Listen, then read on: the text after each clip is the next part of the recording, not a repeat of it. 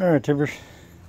Got a call this morning for uh, my ad for free mowers. And I got this one here. I haven't even tried to start this one. Reason being the pull ropes broke on it. Um, the lady told me one of them ran, but something about an intake. I don't know. I haven't really. This one here, you prime it. It'll start. It'll run for a few minutes, and then it'll die. Um, it won't stay running. Um, carburetor, I'm sure. Um, that's usually the case. Carburetor's all junked up and everything. Um, this one here, um, like I said, the pull ropes broke on it. I may end up taking the motor off of that one and put on this one since it's a little better body. It doesn't look like it because it's got all these leaves and stuff on it, but um, it'll clean up pretty good, I think. So I may take that Briggs off and put on this motor, on this chassis.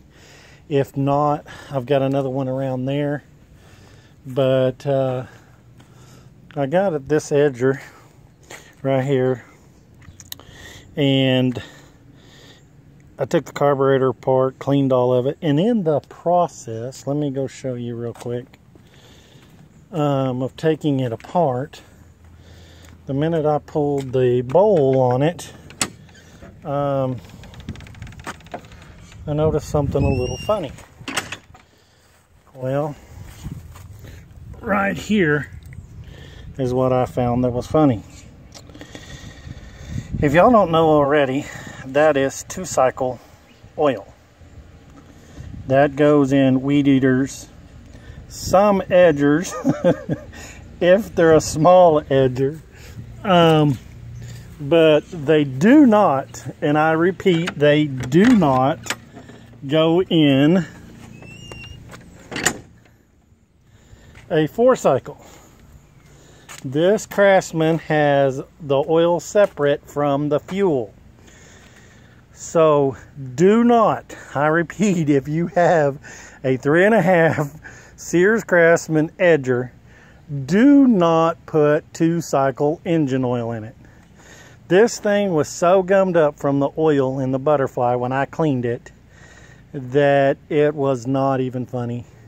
That oil is not designed to go through these. The jets are so small and so minute. It is not designed to go through this type of motor um, or carburetor. So please do not put two cycle engine oil in one of these. Um, that's all that was wrong with this. I took it apart, cleaned it, um, it was nasty. I mean, the butterfly would not, I mean, it was, it had the butterfly stuck. It would not move. Um, after dunking it, cleaning it, and everything else, it, uh, it finally freed up and I got her going, but it was nasty.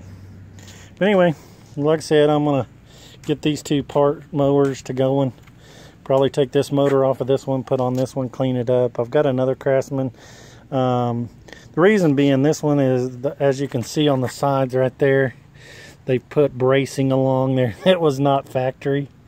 So that's meaning that that frame is tweaked. So I'll probably take that motor off and put it on that one. And got the bonus of it being self-propelled. So if I get another elderly person that needs a mower that is self-propelled, it'll be a lot easier than them out there trying to push a mower in this heat.